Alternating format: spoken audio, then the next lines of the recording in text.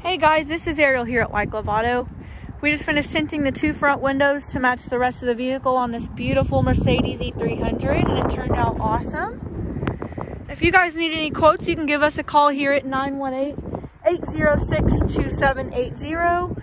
We are the highest rated, most reviewed automotive care facility here in the Tulsa area. We're open Monday through Friday, 8 a.m. to 6 p.m. and we would love to earn your business.